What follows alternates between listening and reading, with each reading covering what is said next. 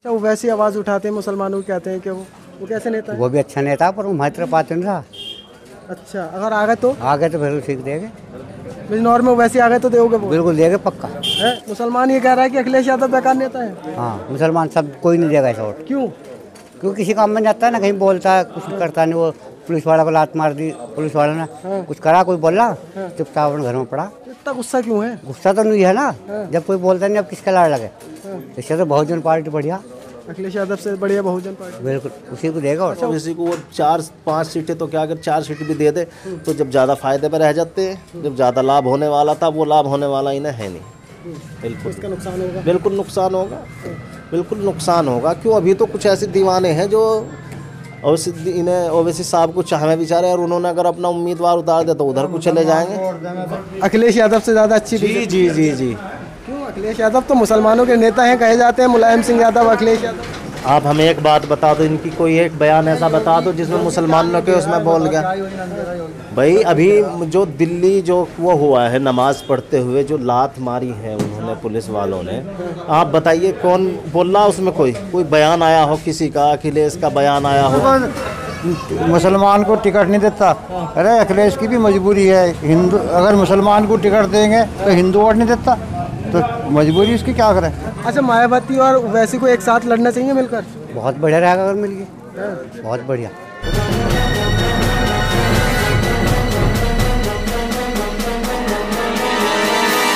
Media voice आपकी आवाज़। 2024 चुनाव को लेकर लगातार हम जानने की कोशिश कर रहे हैं कि माहौल क्या है। इस वक्त हम उत्तर प्रदेश के बिजनौर लोकसभा के अंदर मौजूद हैं और यहाँ पर जनता का क्या मूड है? वही जानने के लिए हम यहाँ पर पहुँचे हैं। क्या माहौल लग रहा है इस बार बिजनौर की जनता क्या चाह रही है? भाई अभी कुछ नहीं चाह रहा। अभी तो कोई आया ही नहीं नेता यहाँ तक कोई नेता नहीं आया? अभी तो गाँव में कोई आया ही नहीं। अभी क्या पता लग रहा। कौन कितनी मेहनत करेगा कौन अच्छा कौन खराब है। पिछले सांसद के कैसे काम थे? बस काम तो सब आज ठीक ही करें भाई।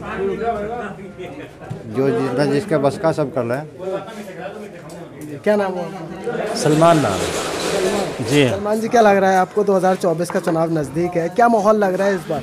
चुनाव माहौल तो अभी अभी कैंडिडेट जो डिक्लेयर होके आ रहे हैं अभी अभी तर पूरी तरह से तस्वीर साफ़ नहीं है तो उसकी वजह से थोड़ा सा अभी पूरी तरह से तस्वीर साफ़ नहीं है लेकिन कुल मिला के बात ये है कि यहाँ जो कैंडिडेट जो टक्कर मुकाबला होगा वो मायावती के उम्मीदवार में और इसमें होगा जो बीजेपी का कैंडिडेट होगा। जी जी जी जी। मायावती भी अलग लड़ रही हैं और भाजपा अलग लड़ रही है। क्या लग रहा है भाजपा को टक्कर दे पाएँगे मायावती? नहीं उसका एक कारण है मैं मानता हूँ भाई मतलब ऐसा है जो ये जाट बिरादरी है ना ये अपने को बहुत ज़्यादा पसंद करती है। वो किसी भी उससे लड़े अगर वो उनका कहीं उम्मीदवार है ना तो उसे हर हाल में जिताने की कोशिश करते हैं। और जो यहाँ से बिजनौर सीट पे जो यहाँ से मायावती के जो कैंडिडेट आए हैं वो बहुत मज़बूत कैंडिडेट है।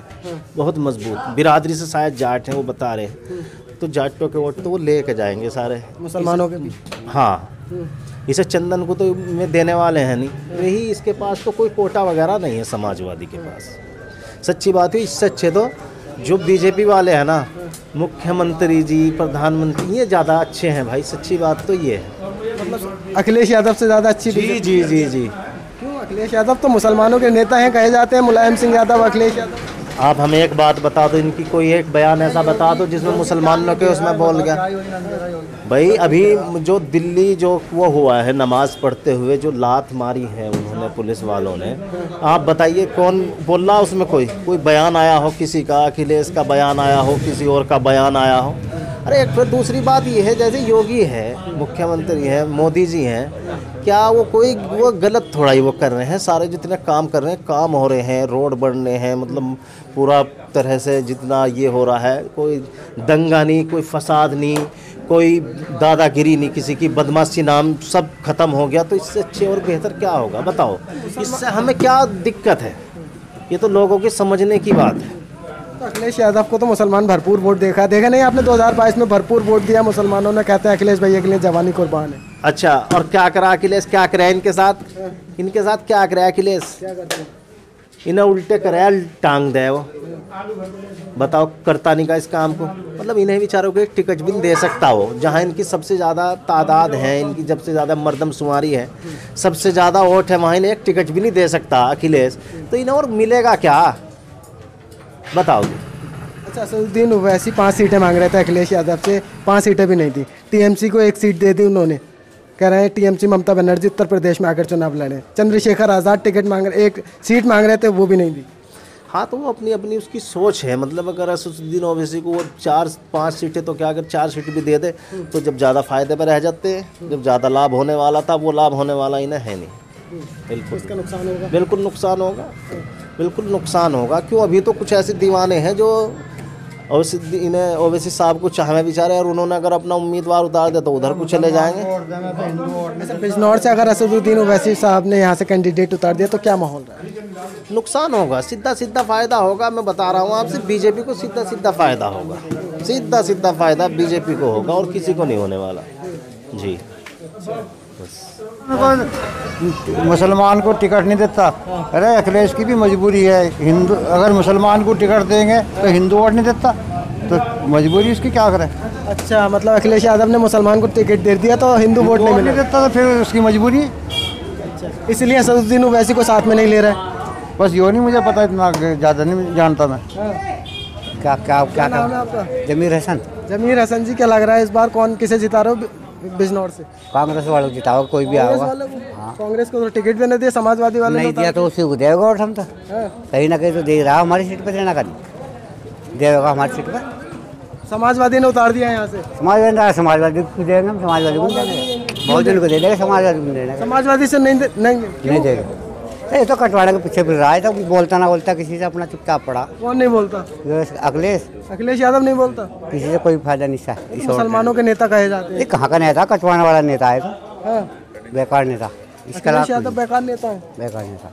मुसलमान ये कह रहा है कि अखिलेश यादव बेकार नेता है। हाँ मुसलमान सब कोई नहीं देगा ऐसा वोट। क्यों? क्यों किसी काम में जाता है ना कहीं बोलता है कुछ करता नहीं वो पुलिस वाला को लात मार दी पुलिस वाला ने कुछ करा कोई बोला चुपचाप अपने घर में पड़ा। इतना गुस्सा क्यों है? गुस्सा तो नहीं है ना। जब कोई बोलता नहीं अब किसका लाड़ लगे? इससे तो बहुजन पार्टी बढ़िया। अखिलेश यादव से बढ़िया बहुजन पार्टी। बिल्कुल उसी को देगा अच्छा वो वैसी आवाज़ उठाते हैं मुसलमानों की कहते हैं कि वो वो कैसे नेता है? वो भी अच्छा नेता पर वो तरफ़ आते नहीं रहा। अच्छा अगर आ गए तो? आगे तो फिर उसी को देंगे। बिजनौर में वैसे आ गए तो दोगे बिल्कुल देंगे पक्का। है? वो कहते हैं भाजपा को जिताते हैं। भाजपा को नहीं देने को। वैसे को दे दो। वैसे को दे देंगे बहुजन को दे देंगे। हाँ। पैसे नहीं देंगे। अच्छा मायावती और वैसी को एक साथ लड़ना चाहिए मिलकर? बहुत बढ़िया रहेगा अगर मिल गई। हाँ, बहुत बढ़िया। पूरी सीट काट देंगे सब सब जीत जाओगे? सब जीत जाएगा। नौशाद जी। क्या लग रहा है आपको? ओवैसी की भी आने की तैयारी है चर्चाएँ चल रही हैं कि वो बिजनौर से आकर चुनाव लड़वा सकते हैं। लड़ेंगे। ओवैसी को तो हम कह नहीं सकते पर हमें ये पता दी जब से भाजपा सरकार आई हमारा नाश हुआ बढ़ा दी। क्या होगा हम जी महँगाई से परेशान। बहुत ज़्यादा महँगाई से परेशान है। बहुत परेशान हो रही है हम इससे। और हम जो चाह रहे सरकार लाने की हम यहाँ जी समाजवादी पार्टी को जी समाजवादी पार्टी। को। इतना गुस्सा दिखा रहे हैं कह रहे हैं कि मुसलमानों पर लाते चलाई गई हैं पुलिस वालों ने। मारा अखिलेश यादव बोले भी तो लोग वहाँ गया कोई कैसी गया कोई कैसी गया कोई इंगे की गया अन्य जो है जी हम समाजवादी पार्टी को लाने चाह रहे हैं और इंशाल्लाह समाजवादी पार्टी इनसे सीट निकालेगी जी। यहाँ से सीट हाँ जी। यहाँ से हमने पहले समाजवादी पार्टी की वजह से चंद्र सिंह चौहान को वोट दी थी। हाँ, वो भाजपा में चले वो भाजपा में चलेगा ये दल बदलू है जी ये। हमने नहीं जो वोट मिली थी हमारी सीट से आज जी उसे समाजवादी पार्टी को मिली थी। पर हम अब इंशाल्लाह देखेंगे समाजवादी पार्टी का हम यहाँ सरकार लाएँगे। चलिए। तो आपको क्या लगता है 2024 में बिजनौर की जनता किसे जिताने वाली है तो आने वाला वक्त बताएगा। फ़िलहाल इस पूरी रिपोर्ट पर आपकी क्या कुछ राय है, अपनी कीमती राय में ज़रूर दीजिए। क्या मायावती और असदुद्दीन ओवैसी को एक साथ अगर चुनाव लड़ते हैं 2024 का तो कैसी स्थिति रहनी चाहिए? आप अपनी कीमती राय में ज़रूर दीजिए। बहुत बहुत शुक्रिया।